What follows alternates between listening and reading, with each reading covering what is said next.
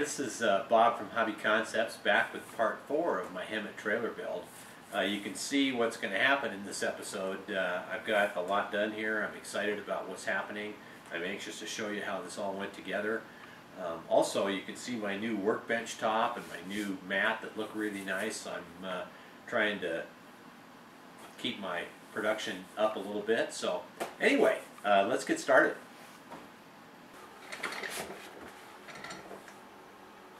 Okay, as I get started on part four of this trailer, a couple things I want to show to start with. First, I hope this shows up.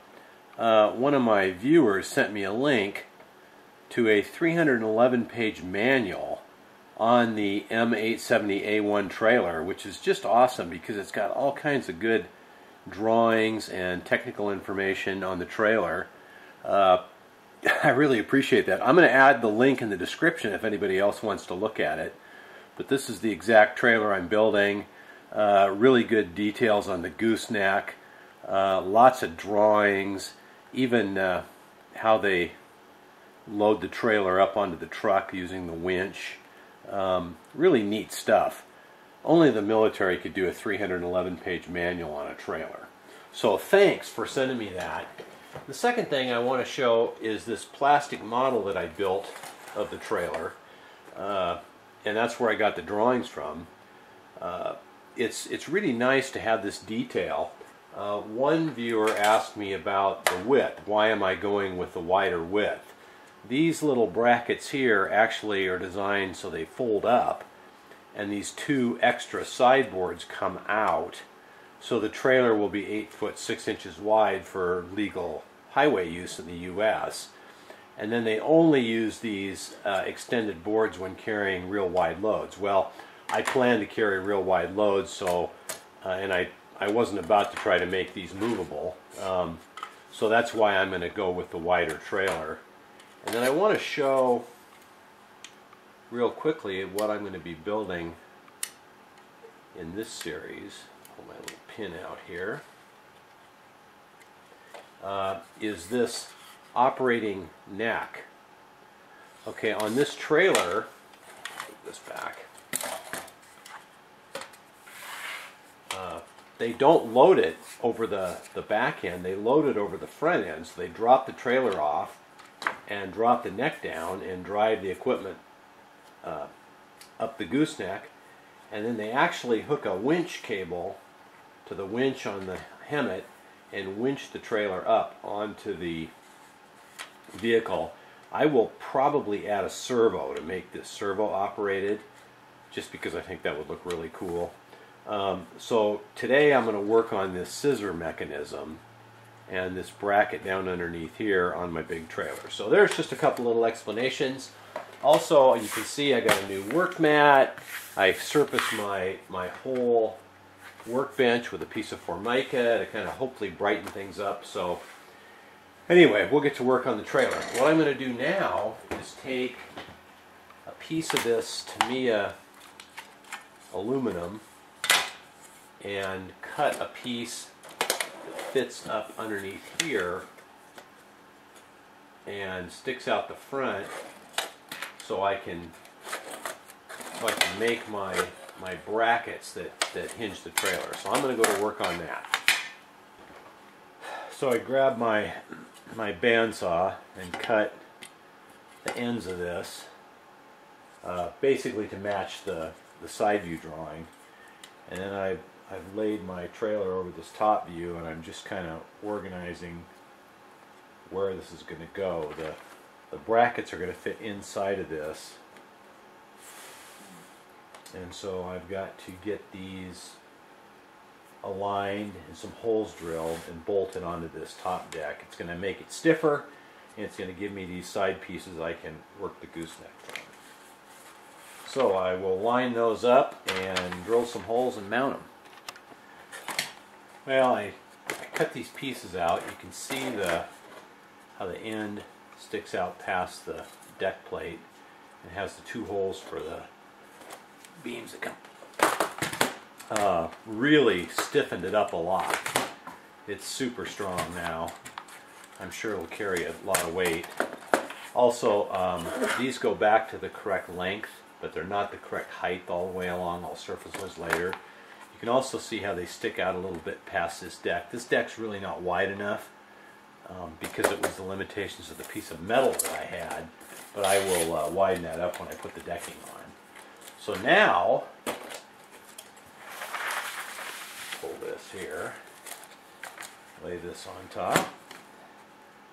Everything lines up nicely. You can see what I mean about the decking being wider back here. So now I've got to make these side pieces here and these arms here and get my my scissor mechanism done. So I'm going to go ahead and cut these out of a piece of this. This is really nice aluminum. It's thick, it's strong. I'm going to cut these side pieces out of a piece of this and I'll cut these out of the remaining pieces and uh, get those cut out and we'll see what they look like. My bandsaw is getting a workout. So I, I took and cut some aluminum brackets out of these side pieces. And they, uh, they match this piece right here. In the model, you can see that the bottom of this is flat. So I cut a flat piece of aluminum and these brackets will mount on it like this and it sticks out a little bit past the bracket because there's a there's a lip right here. So these will mount like this and that should line up with the trailer. And I will drill and bolt these on and then I can this will be my my gooseneck that'll that'll have arms here and then it'll pivot up. Uh, hoping everything works. I'm going to go ahead and drill this and bolt these on and then I'll get to the business of making the side brackets and see if I can duplicate this action here. I bolted uh, these pieces together and they're going to fit like that. So now I have to make these pieces right here. I've still got some of that thick, nice aluminum so I'm going to cut the pieces out of that. And they have a, a decking that mounts across the top of them. So I will cut that out of this remaining piece of aluminum I have here. And that should make them quite strong. And the bottom pieces I will probably cut out of this aluminum that came with the trailer. So I'm going to go ahead and cut these pieces out and then we'll get them lined up and drill them and see if I can get this thing all together. It's so far going together pretty good. Well, this trailer is getting longer and longer. Uh, so that's how this goes up and down. And now I've got these pieces, which I need to mount in here, and it'll give me my scissor. So I'll do some drilling and get those put in. Now notice I've left all the corners sharp, none of the edges are polished off. Um, I'm doing that because really I'm just kind of test fitting everything together here. Uh, once I get everything fit, working, then I'll take these pieces, clean them up, round the corners, polish the edges, and uh, eventually paint them. But yeah, I think that's gonna, I think that's gonna do the trick, and I have to figure out where I mount my, my pintle for the trailer. So, okay, I'll drill these and see how they work. so I drilled the holes in these brackets. You can see I did a little bit of work on this one. The hinge point here, I had to have it relieved so it would not hit the bracketing underneath. And, and this should just go in here same on the other side and we should get our our action so I'm going to go ahead and uh, put these two brackets on with some washers and then I'll come back and we'll see if it works okay I got the bolts in and you can see that works very nicely I am absolutely thrilled I had no idea how I was going to do this and uh, darn if that doesn't work really nice Now it goes a little too high. I uh, checked the angles with my drawing here, so I'm going to have to put a some kind of a stop in here to uh, to stop it. But that'll be easy. I'll, I'll just put a bolt down in here on each side so the bottom bracket hits it and stops it in the right place.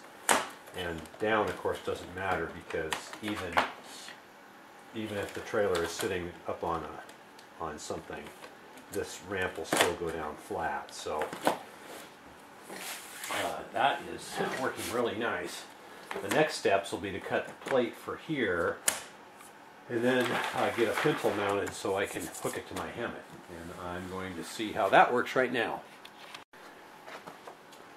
I've got a Tamiya coupler plate here and I mounted the pintle in it mainly to see if it works. It does. Works fine. So I'm going to use the standard Tamiya plate that came with the trailer and because the pintle is so close to the front I'm going to have to trim this plate off a little bit and then I'll mount it to the bottom of my aluminum plate there, give it a little extra strength. So that will work just fine. I took the Tamiya coupler plate, mounted it on. Now I'm going to drill, like I mentioned, some holes for some stop bolts to stop this in the correct place. I found this uh, this piece that was in the trailer kit, and I'm going to use that to create this piece of decking that goes right here. And that's this piece. It'll be covered with diamond plate later, and I've got some aluminum diamond plate I showed earlier. So uh, I'm going to drill that and drill those, get those put together. Okay, I drilled a, a stop bolt down inside. So this now stops in the proper place. I bolted this piece of decking on. So this uh, goes up nice and solid. Everything's looking pretty good. I'm going to put the wheels and tires on and then see how it looks behind the Hemtt vehicle. Okay. Um,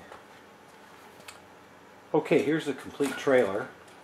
You can see it looks really good with the tires and wheels on it. I'm having a problem getting the entire thing in my camera because it's so big. And uh, we'll latch it onto the Hemtt here. I don't know how good that shows, but it is uh, awesome looking with the, let's see if I can get a little bit better angle here. It just looks amazing. And it's huge. It's over five and a half feet long. Um, really pleased with how everything's turning out. I can pull that off that lays down. There's actually going to be a couple of feet that go underneath here as part of the trailer. So our loading is here. That goes up like that, latches onto the truck. Everything works really good. Okay, well that uh, that ends part four. Um, stay tuned. Uh, the next part, I'm going to do some of the decking and detailing up around the front here, and then I'll be working on the decking and detailing on the back. Um, probably, uh, like I said, this one's going to have a lot of parts. Probably be another um, few weeks at least to get it done, but uh, very pleased with how it's working out. I hope you guys are enjoying it. Uh, appreciate all your comments. If you want to see the end of this, please subscribe. I've also got a new Tamiya dump truck build coming up that'll uh, be starting pretty soon. So thanks again for watching.